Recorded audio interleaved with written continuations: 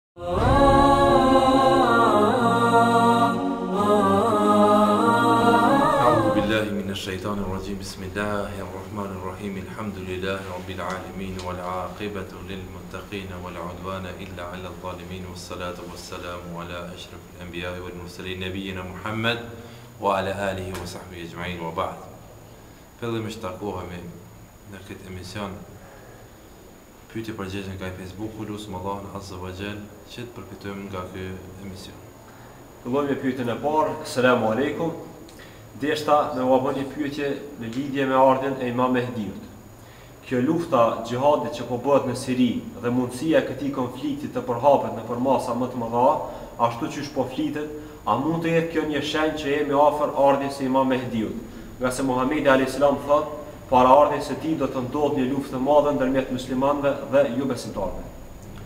Allahu Alem, mirëpo shenjat janë të dhezura në rrugë, dhe se bash në Sham, ato luftra i ka përshku Pejgamberi sallallahu alejhi ve sellem, e Shami është e përfshin edhe Jordanin, e përfshin edhe Sirinë, edhe një pjesë të Irakut, mirëpo sa i përket, ardhjes së Mehdiut nuk e di saktë, mirëpo gjërat apo gjërat që jemi duke i pa janë tu na çu ka ajo çka ka aludu Pejgamberi sallallahu alejhi ve sellem ku në Siri apo konkretisht në Sham është duke bo një luftë vllavrasëse ku gjaku është duke u bo deri në gju edhe njerzit nuk janë duke e pa dhe kjo do të ndodhë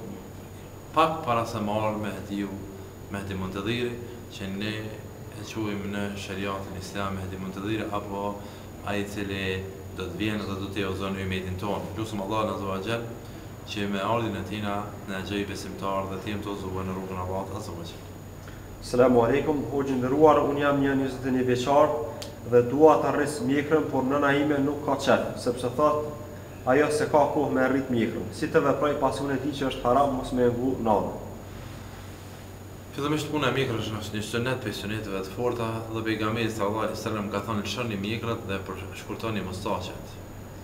Te urdhri lëshoni, disa nga dijetarët e kanë marrë vaxhib, obligim, dhe disa e kanë marrë sunet, mirëpo prapë se prapë ne do të thojmë se është një sunet mu'akkede, sunet i fortë, një sunet që e kanë praktiku të gjithë pejgamberët e Allahut subhanehu ve teala dhe se respektimi i prindit është farz mirëpo prindi nuk respektohet kur vjen pyetje hidhrimi i Allahut subhanehu ve teala atëherë edhe unë po thoj ma mirë është që ta shkurtosh mjekrën dhe të mos e hidhrosh nanën dhe ta afrosh nanën që ta kupton ajo vetë çka është puna e mjekrës Sepse prindi është ma i madh se sa lëshimi i një sunetit.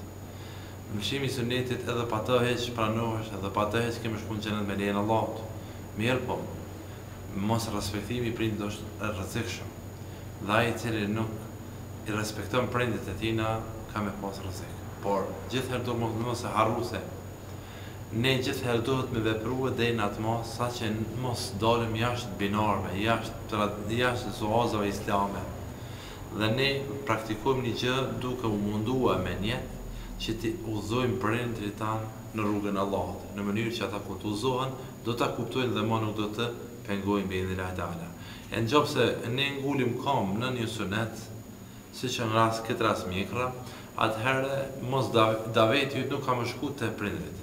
Dhe mos daveti yt me ta dhe prishja marrëdhënie me ta është e rrezikshme në veçanti për prindërit tu që ata mund me qenë shkaktar me humb rrugën dhe me deviju krejt. Lusim Allahun Azza wa Jall që t'i përpu t'i bashkojmë këto dy gjëra në mënyrë që të mos i bëjmë të ndara. Unë jetoj në Slloveni dhe punoj si kamarier, por nuk po mundem me e fal namazin, drekën, ikindin dhe akshamin. A mundem unë me i fal krejt si kazo? Kazoja vjen në pyetje atëherë kur ka muslimani një arsye të caktuar dhe e len namazin për arsye të caktuar. Cilat janë arsyet e lënies së namazit? Kanë fol ulemaja në këtë meselë shumë. Disa nga dijetarët kanë thënë se e vetmja meselë që mund të bëhet namazi kazo është sëmundja ose harresa dhe dhe mos të kujtue se ka hi namaz dhe ka dal namazi tjetër si mund me ndodh namazet e dimit e dimnit mirëpo s'po muj me punue apo jam në punë s'po muj me fal namazin kjo nuk është arsye sipas grupit të këtyre dijetarëve E dyti, mendimi i dijetarëve është që çdo namaz që kemi arsye apo pa arsye duhet ta bëjmë kaza, duke e ditur se ne i kërkojmë falë Allahut azze ve xhel për, për mosfaljen e atij namazi. Atëherë ne prapë ju thojmë, ju falni kaza, mirëpo do të jeni mëkatarë përsëri, do për shkak që s'e keni falë namazin. Dhe mos mendoni se keni vepruar mirë, keni vepruar shumë keq, Por kazaja vjen në pyetje atëherë kur namazin nuk e fal në kohën e tij. Unë jam një vëlla nga Tetova, deshta t'ju pyes, unë kam qenë në shumë hoxhallar, por askundi nuk mund të shërohem. Nuk e di a e kam prej syrit apo prej magjisë etj. Jam i sëmurë, herë herë bëj si qen, si mace, përmendi fjalë të ndytura dhe shumë fjalë të tjera, Çka thotë dikush tjetër unë e përsëriti me zë të lartë dhe nuk mund ta kontrolloj dot veten. A mund të më tregosh pak? Padyshim se këto janë simptome të magjisë dhe sehrit. Mirëpo, fillimisht para se më ardhte ajo çka ju e kërkoni, duhet me rregullu raportin ju me Zotin e juaj.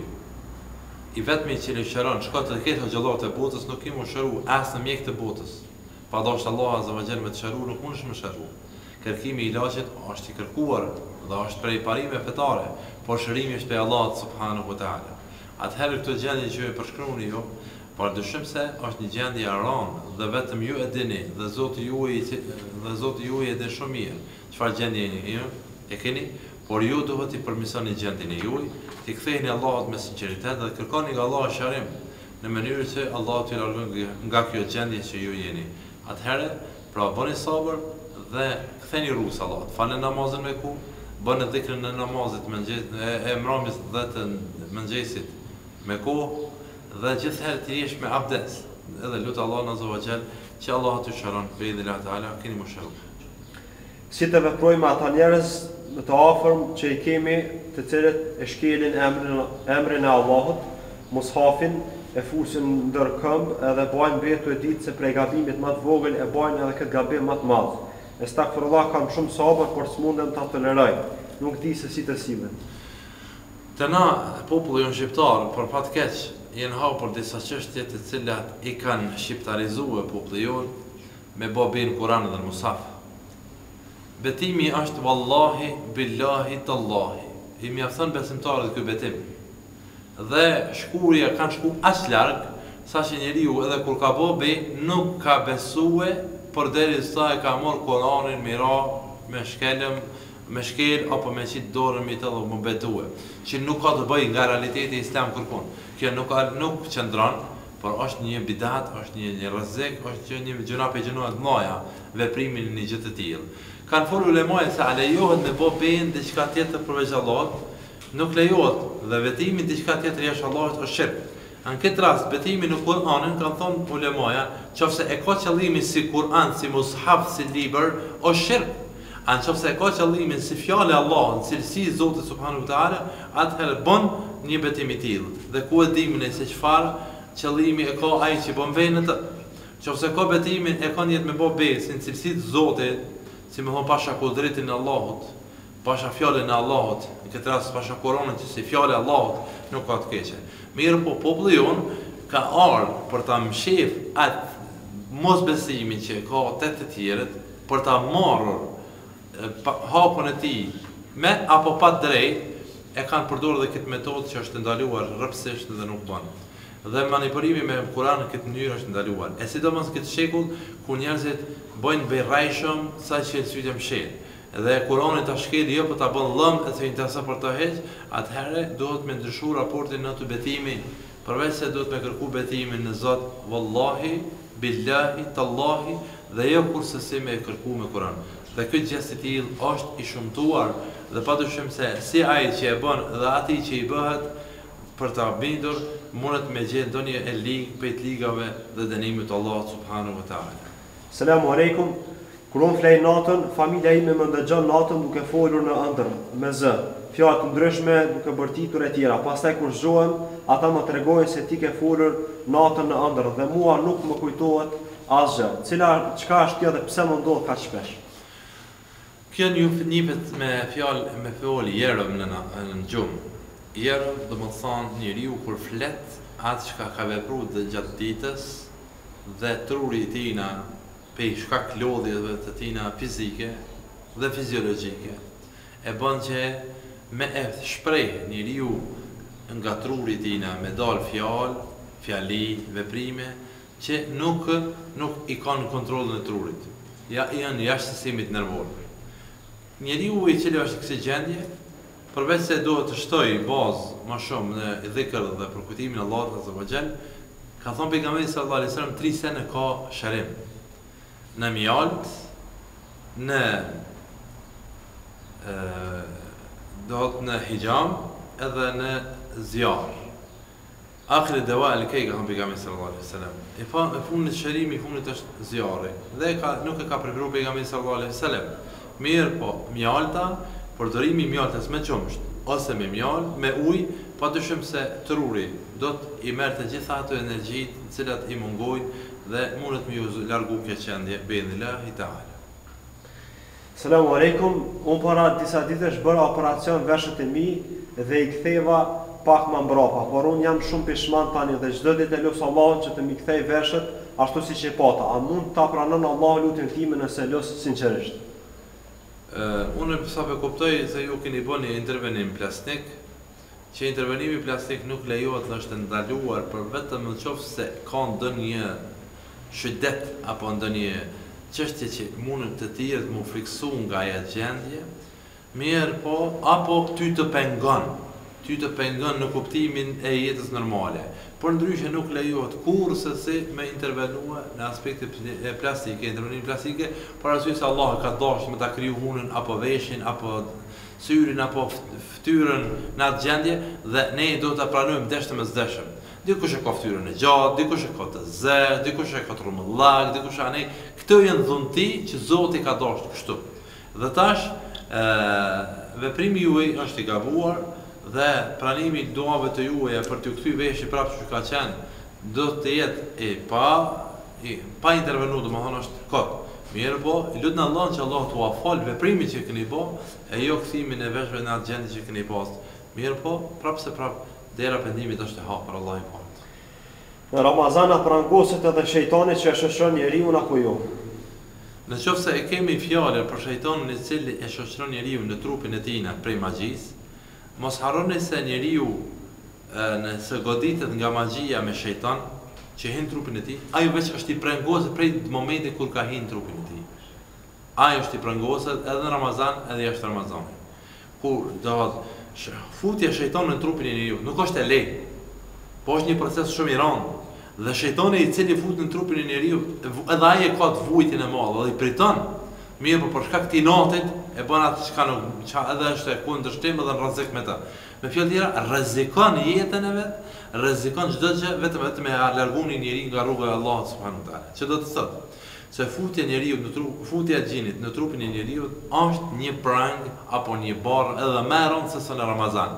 Djalltë e mallkuar e xhinët të cilët nuk janë muslimanë, shejtanët, prangosen por nuk janë në atë gjendje sikur është në gjendje shejtani i cili është i prangosur në trupin e njeriut. Do të thotë, ai veç është i prangosur dhe ndikimi i tina nuk mundet me ndiku te të tjerë përveç tek personi i cili është i sëmurë. Domethënë, njeriu i cili është i sëmurë nga exhinët, Ai mundet me pas ndikim edhe në Ramazan, sepse prangimi apo izolimi i shejtanit në trupin e tina ndikon edhe në Ramazan edhe jashtë Ramazanit. Për ata, shërimi më i më i më afër mundet me qenë në Ramazan për arsye se shejtanë tjerë që të cilët ndikojnë te ai për mos me lënë me dalë jashtë, Janë të prangosur, atëherë duhet të shtojë ibadet, namaz nafile, taravih, lutje dhe përkujtim të Allahut azza wa xhall, qoftë se ka nevojë edhe rukje, vetëm e vetëm çka të mos e lejë rahat dhe të largohet nga trupi, Allahu a'lem. Nëse shkoj në shkollë dhe marr notë të dobët, atëherë atë notë të dobët që e kam marrë, a është pse nuk kam mësu, apo është caktim i Allahut? Padyshim se Allahu subhanahu wa ta'ala e ka krijuar njeriun të lirë për të vendosur. Dhe Allahu ajetet e para kuranore ka kërku nga ne me lexu. Leximi është i lirë nga njeriu. Dhe kërkimi i dijes është kërkuar nga Allahu subhanahu wa ta'ala. Sikur kish dashtë Allahu do të na kishte dhënë ne dijen të gjithëve. Allahu e din se ne edhe pse mësojmë, edhe pse nuk mësojmë çfarë gjendje do të jetë pasysh. Mirëpo, secila e ka anën pozitive edhe e ka anën negative. Qoftë se mëson, do të kalon. Edhe qoftë se nuk mëson nuk do të kalon. Si mund ta kuptojmë Allahu e ka ditë këtë çështje se ti çfarë tipi je? Çfarë tru truni je? Ti priton me mësue dhe Allahu e ka ditë se ti para provimeve s'ke me mësu dhe e ka ditë se ke me marr ndot notën e dobët. Dhe nxënësi i dobët dhe nxënësi i shkëlqyeshëm janë të njëjtë te Allahu subhanahu wa taala. Secelit ja ka lon Zoti mentë, ja ka lon dy sy, ja ka lon vesht, edhe trunën e kanë të njëjtë, por neglizhimi i personit duke e lënë në asgjë atë çka e ka kërku Allahu nga ai, bën që të jetë nxënës i dobët. E aktivizimi i tina që Zoti e ka ditë se ky do të aktivizohet herdokurdo, do të do të mundohet me nxënë, e ka ditë Subhanu Allah, Subhanu Wa Ta'ala që ky ka me qenë nxënës prej nxënësve pozitiv. Domethënë, Ne nuk guxojna me u fut nga jo e ka shkru Zoti tash badihava jo Allahu e ka dit se ti ke me msu por kur shkojsh në provim pyetja që ka me t'dal ka me qen jasht asoj dije që ti e ki për me kuptue se çdo gjë është në caktimin dhe vendimin e Allahut subhanehu wa ta'ala. Jam një djalë, kam bërë shumë gabime në jetë dhe tani jam kthyer rrugës së Allahut. Gjithashtu kam nis edhe Ramazanin dhe tani po e kuptoj se kam bërë shumë mëkate, siç e kuptova tani se janë mëkate të mëdha. Këto që kam bërë, kam shkuar me femra të ndryshme, kam detyruar të abortoj me prindërit, s'i kam pas mirë marrëdhëniet, se kam lindur Nuk mbaj mend përqafime, ledhatime, veç mallkime dhe dhunë, gjithashtu edhe unë kam shpërblyer në të njëjtën mënyrë, a thua Zoti do t'm'i falë të gjitha këto. I nderuar vëlla musliman, Elhamdulilah që ju jeni pendu. Allahu xhelle shanuhu ve xhelle xhelaluhu na ka krijue për ta adhuru Allahun dhe ka kërku prej neve që ne të pendohemi prej të kaluarave tona Nuk ka vonë kurrë kur njeriu pendohet. Pa marrë parasysh se çka ke veprue, je pendu dhe kërkon falje te Allahu, Allahu ka me t', me ta pranue pendimin. Por mos harro, qofse ke hi n'hak njerëzve, hakun duhet me ja kthy. Nëse ki mundësi. Nëse s'ki mundësi, me lut Allahun për ta. Kurse sa i përket raporteve mes teje dhe Zotit, mes teje dhe Zotit mjafton pendimi i sinqertë, mos mu kthye nga ajo vepër kurrë më, dhe me ndi ndjesi në shpirtin tënd. Padyshim se, pendimi është i hapur dhe nuk mujnë me thonë që nuk të falë. Të falet dhe gjithsesi të falet, vetëm se mundohu që të kaluarën ta shlysh me vepra të mira. Inshallah Allahu të falë ty dhe neve dhe gjithë besimtarët. Ne që kemi rast vdekje që një javë, tash kismet kur të është Bajrami a bën me qit ndonjë ëmbëlsirë apo nuk duhet kurrgjë. Padyshim se me majt zi është i ndaluar dhe ëmbëlsira nuk është asgjë e keqe. Bile bile te na kur des dikush i qesin hallvë, hallvë domethonë ëmbëlsirë. Me momentin kur des dikush po bojka me qit ëmbëlsirë e lere për Bajram. Ku kurrfar logjike nuk bën. Domethonë ne po bojka Po qet shum hallvë hallvë apo ëmbëlsirë po qet kanë për dekë e nuk po bëjka për bajram domethënë ëmbëlsira lejohet mu qit për bajram edhe pse kanë dekë pa antarët e familjes mirëpo pse e kanë qit për natën e vdekjes ajo asht një çështje krejtësisht tjetër mirëpo du ta sqaroj këtë çështje pasi që e ceka se muslimanët te na e kanë kuptue se edhe vdekja edhe lindja janë njëlloj